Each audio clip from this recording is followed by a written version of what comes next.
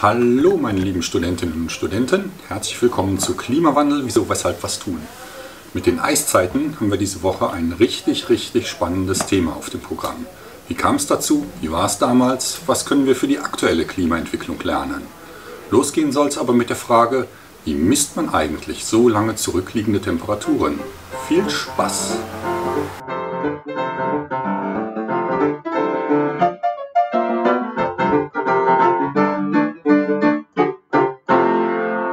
Schauen wir uns den erdgeschichtlichen Temperaturverlauf doch einfach mal an. Hier ist so ein Bild, das zeigt den Temperaturverlauf im Wesentlichen seit Entstehung der Erde. Die x-Achse ist variabel, nach links, also zu den ganz alten Zeiten bis zu 400 Milliarden Jahre, ist sie gestaucht. Nach rechts, da wo die Zeiten näher an der Jetztzeit sind, ist die Skala gestreckt. Anders geht es ja wohl auch nicht, den Temperaturverlauf seit der Entstehung der Erde einigermaßen vernünftig auf einem Diagramm wiederzugeben. Und in der Mitte des Diagrammes, also zwischen unten und oben, ist eine große horizontale Linie, die zeigt so in etwa die aktuelle Temperatur an. Was da drunter ist, ist kälter, was da drüber ist, ist wärmer. Und da sehen wir, dass im Verlauf der Erdgeschichte es meistens deutlich wärmer war als heute. Im Erdaltertum hat das viel mit der Entwicklung der Atmosphäre zu tun, die uns halt auch vor dem Einfall von viel Strahlung aus dem Weltall schützt. Bis ins Erdmittelalter hinein ist die mittlere Erdoberflächentemperatur auch deshalb ganz anders als heute, weil die Kontinente ganz anders lagen. Vom Perm bis in späte Trias zum Beispiel gab es noch den Superkontinent Pangea, der praktisch alle vorhandenen Landmassen vereinte. Und dann ist es irgendwie auch klar, dass dann auch das Klima anders war. Aber überhaupt, für uns dürfte die weniger weit zurückliegende Klimageschichte viel interessanter sein. Da sind nämlich die Lage der Kontinente und die Zusammensetzung der Atmosphäre im Wesentlichen so wie heute und da lassen sich viel mehr Rückschlüsse auf die Folgen des aktuellen Klimawandels ziehen. Aber bevor wir in der Klimageschichte auf ungefähr die letzte halbe Million Jahre reinzoomen, mal eine ganz andere und auch sehr spannende Frage. Woher kennt man eigentlich diese ganz alten Temperaturen? Na, und für den Zeitraum, den wir gleich betrachten, so die letzten 450.000 Jahre, ist die sogenannte Delta-O18-Methode die genaueste Methode, um diese weit zurückliegenden Temperaturen, als noch niemand ein Thermometer rausstellen konnte, zu bestimmen. Und diese Delta-O18-Methode, das Delta kann man noch als griechischen Buchstaben schreiben, funktioniert so. Sie dreht sich um den Sauerstoff, deswegen das O. Von diesem Sauerstoff gibt es zwei Isotope. Isotope bedeutet so Spielarten des Sauerstoffs. Es gibt noch mehr als zwei, aber zwei, die uns hier interessieren. Nämlich zuerst mal den normalen Sauerstoff. Der wird als O16 bezeichnet und 99,76% allen Sauerstoffs sind dieses O16. Und damit hat es folgendes auf sich. Im Periodensystem der Elemente hat Sauerstoff die Ordnungszahl 8 und das bedeutet, Sauerstoff hat 8 Protonen im Kern und 8 Elektronen in der Hülle. Deswegen die Ordnungszahl 8. Aber im Kern sind natürlich auch noch Neutronen. Die Zahl der Neutronen ergibt sich aus dieser Massenzahl des Sauerstoffes 16. Und diese Atommassenzahl von 16 ist genau die Summe aus den Protonen und den Neutronen. Wir haben also für die Neutrone wir haben also bei 8 Protonen noch insgesamt 16 minus 8 gleich 8 Neutronen übrig. Wir können diesen Atomkern ja mal zeichnen. Da brauchen wir also insgesamt 16. Ich zeichne mal die Protonen und Neutronen alle nebeneinander. In Wirklichkeit sind die also auf einem Haufen. Wir brauchen also 16 Kreise. Ja, 16. Und von diesen 16 Teilchen haben wir insgesamt 8. 1, 2, 3, 4. Haben wir insgesamt 8 Protonen. Und 1, 2, 3, 4, 5, 6, 7, 8 Neutronen. Und drumherum schwirren noch irgendwie die Elektronen. Die werden ja gerne durch solche Bahnen irgendwie eingezeichnet. Können wir hier auch mal machen. Aber die sind ja egal. So, und dann gibt es noch ein zweites Isotop. Und dieses zweite Isotop ist das O18. Und O18 ist beim natürlich vorkommenden Sauerstoff sehr viel seltener. Ungefähr 0,20 Prozent des natürlich vorkommenden Sauerstoffes gehören zu diesem Isotop O18. Und dieses Isotop 18 hat ebenfalls die Ordnungszahl 8. Wenn die Ordnungszahl weniger oder mehr als 8 betragen würde, wäre es nämlich nicht Sauerstoff. Bei 7 wäre es Stickstoff, bei 9 wäre es Fluor. Wir haben also ebenfalls 8 Protonen und 8 Elektronen im O18, aber weil die Massenzahl 18 beträgt, bleibt für die Neutronen gleich Massenzahl minus Anzahl der Protonen 18 minus 8, 10 übrig. Wir haben also 10 Neutronen. Und wenn wir da das Atom mal ein bisschen skizzieren wollen, bräuchten wir also insgesamt 18 kleine Kreise. So. Insgesamt 8 rote und 10 grüne Kügelchen. Und drumherum schwirren natürlich wieder 8 Elektronen.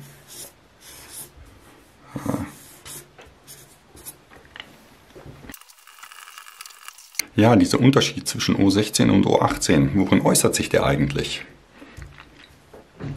Na, der könnte sich doch in den chemischen Eigenschaften äußern. Tut er aber nicht, denn chemisch sind beide Isotope praktisch gleich. Denn für die chemischen Eigenschaften ist im Wesentlichen nur die äußere Elektronenhülle zuständig und Elektronen haben wir gleich viel bei O16 wie O18, also sind die chemischen Eigenschaften beider Isotope, großes I übrigens, praktisch gleich. Aber das Gewicht ist natürlich unterschiedlich. O16 ist leichter, O18 ist schwerer. Dieses unterschiedliche Gewicht von O16 und O18 hat Auswirkungen auf den Schmelzpunkt und den Siedepunkt dieser beiden Isotope. Da gibt es nämlich einen allgemeinen Trend. Bei leichten Stoffen ist der Zusammenhalt zwischen den einzelnen Atomen oder Molekülen oder was auch immer nicht ganz so stark weil eben die Massenanziehungskräfte nicht so groß sind. Und deswegen schmelzen sie schon früher und sieden auch schon früher. Sie haben also einen niedrigeren Schmelzpunkt und ebenfalls einen niedrigeren Siedepunkt. Was bedeutet das denn für O16 und O18? O16 ist sozusagen lieber gasförmig als flüssig. Wir setzen das mal in Anführungsstrichen. Ist ja so ein bisschen eine vermenschlichende Formulierung. Und O18 ist genau andersrum lieber flüssig als gasförmig. Was bedeutet das denn, wenn der eine Stoff lieber gasförmig als flüssig, der andere lieber flüssig als gasförmig ist? Nun, O16 ist lieber gasförmig als flüssig, das bedeutet, es verdunstet schneller. Wenn es einmal verdunstet ist, also gasförmig, was bedeutet das dann für O16 und O18? O16 ist ja lieber gasförmig als flüssig, das heißt, es regnet später ab. Und für O18 gilt natürlich genau das Gegenteil. Es verdunstet schwerer, ist ja nicht so gerne gasförmig und weil es lieber flüssig ist, kondensiert es halt auch früher und regnet früher ab. Wir skizzieren das mal. So, hier haben wir also den Weg des Wassers von Süd nach Nord, wie es verdunstet und nachher wieder abregnet. Da haben wir im Süden ein tropisches Meer, aus dem sehr, sehr viel Wasser sehr gerne verdunstet. Da müssen wir einmal das tropische Meer hinzeichnen. Und weil das ein tropisches Meer ist, scheint da auch sehr stark die Sonne drauf. Naja, und was passiert dann? Das Wasser verdunstet. Und weil ja O16 viel lieber verdunstet, haben wir beim Verdunsten viel O16 und wenig O18. Wobei das viel und wenig so zu verstehen ist, das sind keine absoluten Werte, sondern Vergleichswerte zu den normalen Werten, zu 99,76% O16 und 0,2% O18. Also viel O16 viel U16 bedeutet mehr als 99,76%, wenig U18 weniger als 0,2% U18. So, und dann ist also das Wasser verdunstet und dieses Wasser enthält mehr U16 als normal und weniger U18. Und wenn es verdunstet ist, ist es irgendwie ein Wasserdampf und es zieht nach Norden. Und da wird die Luft kälter und irgendwann kondensiert der Wasserdampf zu Wolken. Die Wolken werden immer größer und irgendwann regnet es dann aus diesen Wolken raus. Ein bisschen was regnet schon in den gemäßigten Breiten. Der Rest regnet in den polaren Breiten ab. So, und jetzt malen wir unter die beiden Wolken jeweils zwei Regentropfen. Der eine gilt für O16, also der eine gilt für Wasser mit O16, der andere für Wasser mit O18. Und wir überlegen uns, wo denn viel und wo wenig O16 bzw. O18 drin ist, im Regen in den gemäßigten oder in den polaren Breiten. Na, wir hatten ja gerade festgestellt, O18 regnet früher ab. Also regnet O18 bereits in den gemäßigten Breiten ab. Wir haben also hier einen großen Regentropfen für O18 und einen vergleichsweise kleineren Regentropfen für O16. Also wenn aber bei der Entstehung der Wolken insgesamt viel O16 und vergleichsweise wenig O18 beteiligt ist und jetzt regnet in den gemäßigten Breiten vergleichsweise viel O18 ab, was bleibt dann noch in den Wolken? Natürlich besonders viel O16. Und dann haben wir in den polaren Breiten, wenn dann schließlich der Rest abregnet, haben wir hier viel O16 und wenig O18.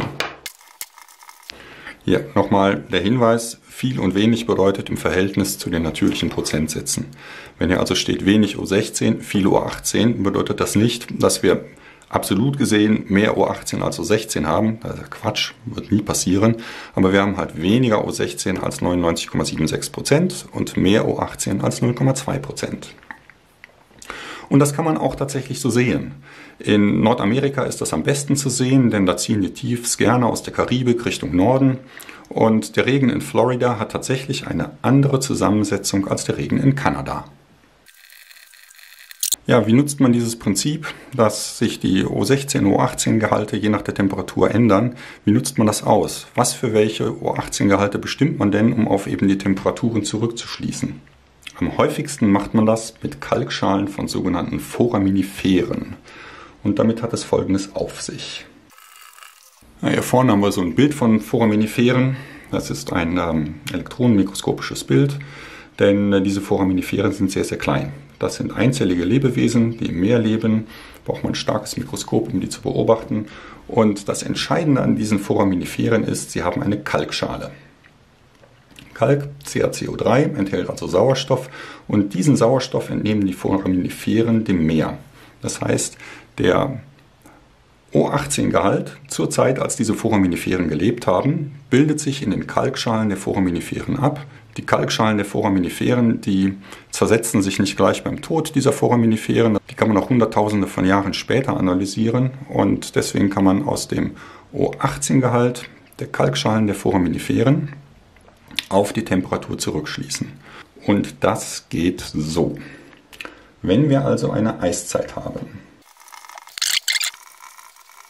in einer Eiszeit gibt es äh, mächtige Eisschilde auf den Kontinenten und in denen ist natürlich viel Wasser gebunden. Was bedeutet denn das für das Meer? Nun, das Eis auf den Kontinenten ist irgendwie aus dem Meer gekommen, über die Wolken dahin gegangen, da haben die abgeregnet oder haben geschneit und dann hat sich das mit der Zeit zu Eis kompaktiert. Gucken wir uns nochmal auf dieser Grafik an, was das für den Wassergehalt der Meere und für den Kalkgehalt der Schalen der Foraminiferen bedeutet. In einer Eiszeit verdunstet auch Wasser aus den tropischen Meeren. Das regnet dann irgendwie über dem Land ab, fließt aber nicht wieder zurück ins Meer, weil es ja dann als Eispanzer auf dem Kontinent verbleibt. Und wenn halt viel O16 verdunstet, und nicht mehr so viel zurückfließt, bedeutet das, dass die Meere in Eiszeiten vergleichsweise weniger O16 haben und vergleichsweise mehr O18. Und das gilt dann natürlich auch für die Kalkschalen dieser Foraminiferen, weil die ja eben dieses Isotopenverhältnis in ihren Kalkschalen abbilden. So plus minus eine Million Jahre kann man mit dieser Delta-O18-Methode recht gut die vergangenen Temperaturen rekonstruieren.